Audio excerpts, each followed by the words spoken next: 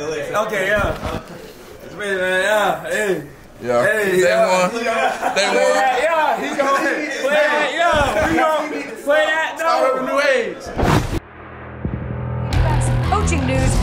UConn made the announcement today. They have hired former UCLA and NFL coach Jim Mora.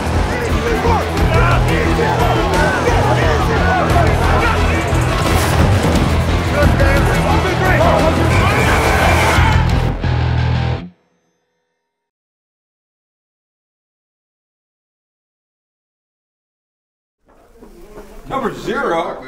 I've never had a number zero on my team. Yes, sir.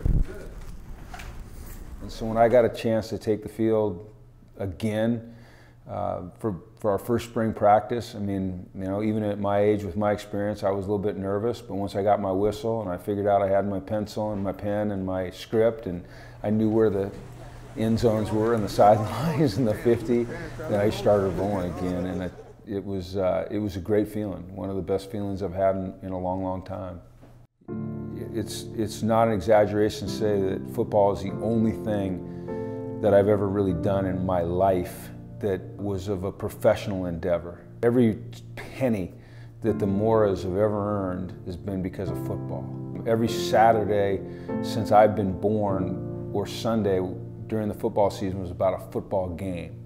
And so I missed it. I missed being on the sidelines. It was one thing to be talking about the action as a commentator, but it's another thing to be in the action.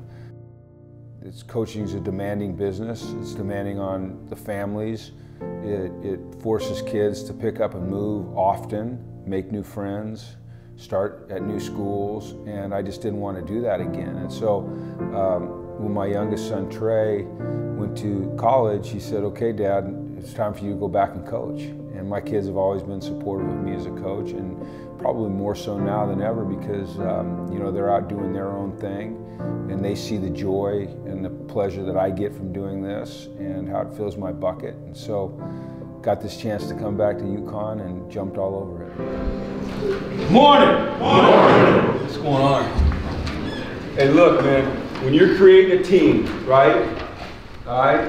When you're creating a team, when you're building a brotherhood, when you're putting something special together, it's all about the people in the room with you. It's about the people on the mission with you. Who can you trust, and who can trust you? Who can you push, all right? And who's going to push you? Who's going to hold you accountable, and who are you capable of holding accountable? Who's got your back, and whose back you got? Who can you count on, and who can count on you? So before you go anybody, anywhere, you got to know who you are in the room with. So we're going to meet each other. I'm Jim Mora, man. Stand up. Stand up, say it loud and proud. I'm Jim Mora, I'm the head coach. Shake his hand. Stand up, shake his hand. Turn Jackson. around and tell your teammates who you are. I'm Jackson Mitchell, linebacker. Obviously, being one of the older guys now, I think us and some of the older guys have been through a lot of ups and downs since we've been here, and it's exciting to see, you know, what's going on here and the change like happening before our eyes. And you know, I think it's definitely really positive, and you can see what the outcome is going to be. And obviously, it's going to be a tough and difficult journey, a long journey. But I'm excited to see the change already in the upward position we're going in. So I was in the class of 2019 when I uh, graduated high school and I came in here.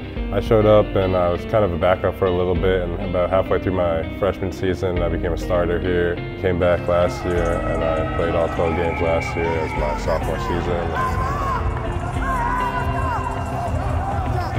I came in as a freshman in 2017, and I have so many memories. Going on my sixth year, playing in so many big games, especially like Syracuse 2018, where I had a, a strip at the one yard line.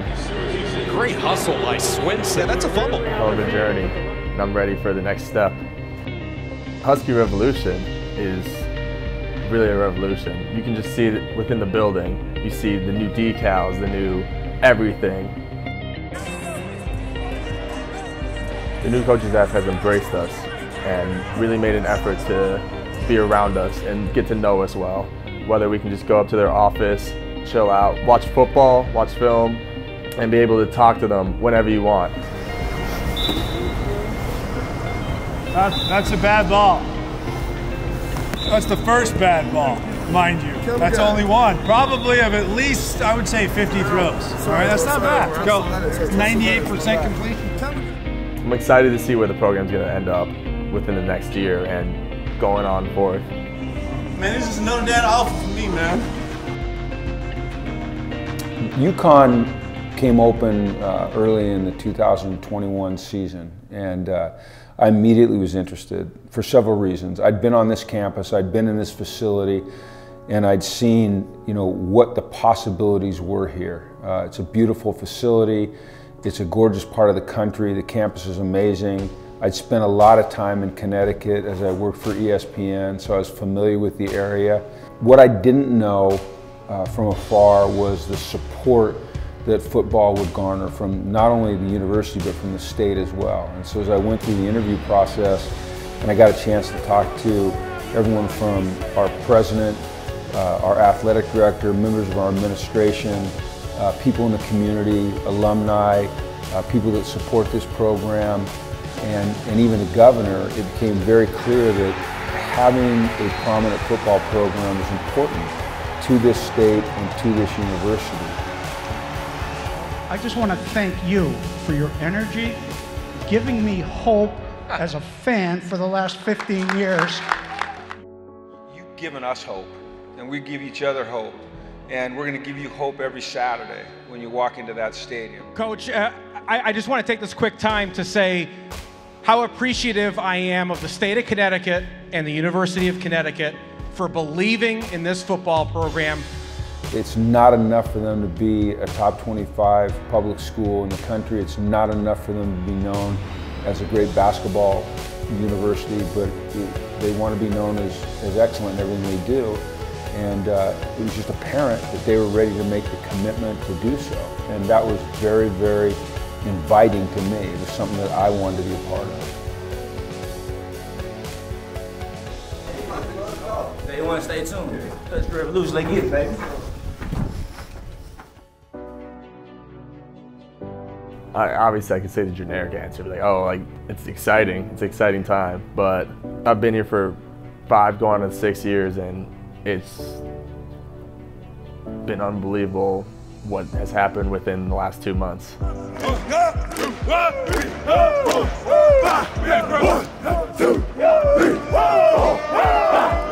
I think uh, the team's really excited for this kind of new era, and the, the excitement's really there, and the enthusiasm's there. Practice has been really energetic.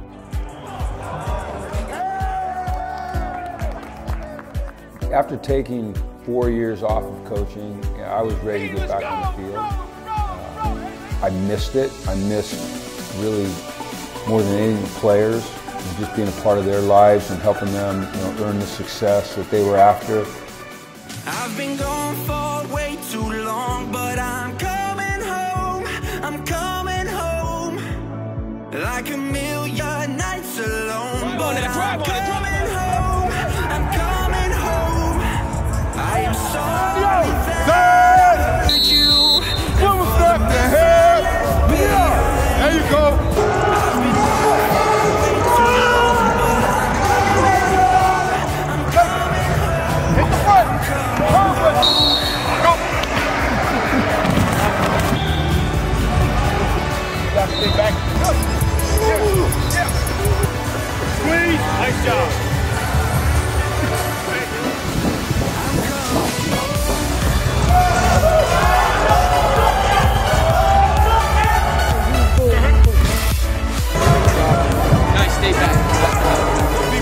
Take another step. Everybody good? All right, let's go. We got, we're on the sideline over here for walking.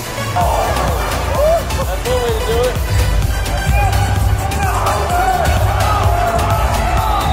Baby, let's go, baby. Let's go, let's go.